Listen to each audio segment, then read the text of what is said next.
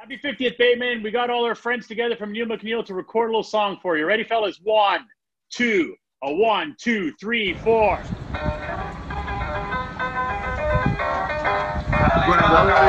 a fly some over some warriors.